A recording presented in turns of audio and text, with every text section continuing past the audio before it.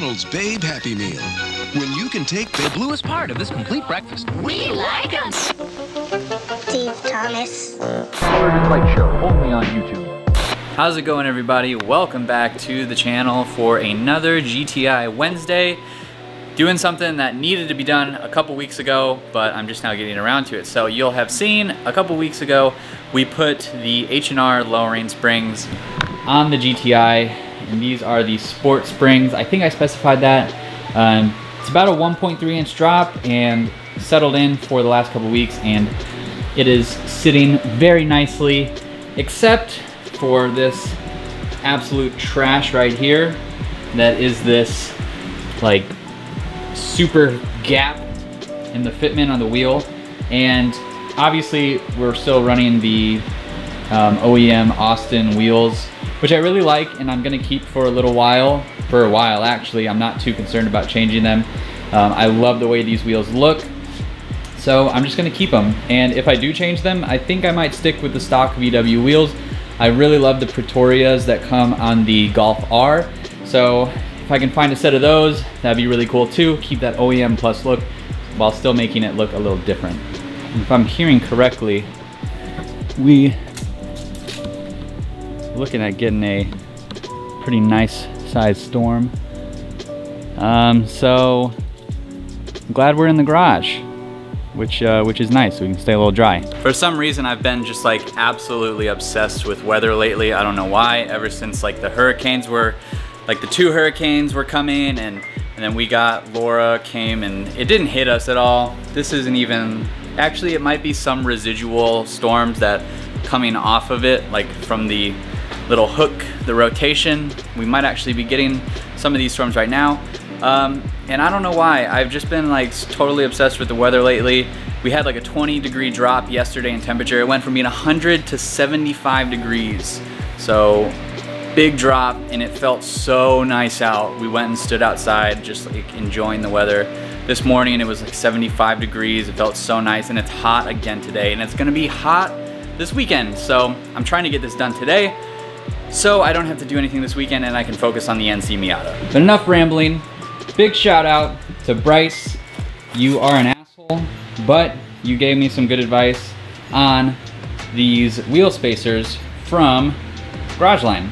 So Garageline makes a kit for the GTI specifically, 15 millimeter spacer on the front set of wheels and a 20 millimeter on the rear to give it a flush look is what most of the companies call it. It's like a flush kit. I know ECS makes one, but Considering Garageline was recommended to me, I decided to go with Garageline. And it comes with your spacers, with the hub-centric ring and everything, and it also comes with hardware. I think these are extended or at least new. Um, so these will go specifically on spacer and on the wheel. So let's get these unboxed and then we will get the wheels off and we can go ahead and throw these guys on. So here is the front set. Like I said, these are the 15 millimeter spacers.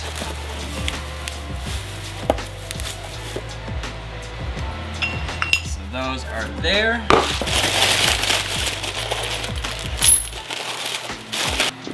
We have the 20 millimeter spacers for the rear.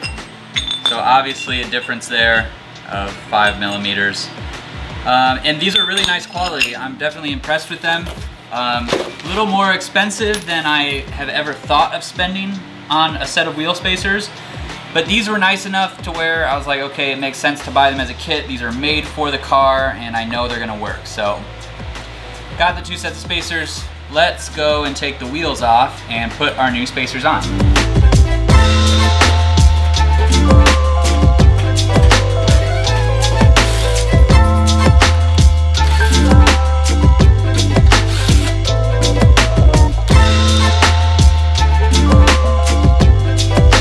So these new, uh, I guess, lug bolts are definitely extended.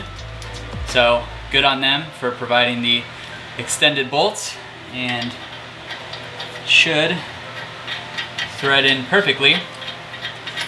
So we can take our first wheel spacer and it fits on absolutely so perfect nice and flush um, so taking the wheel trying to think of the best way to do this probably to just line it up as best as possible and uh, just maybe put the spacer on the wheel actually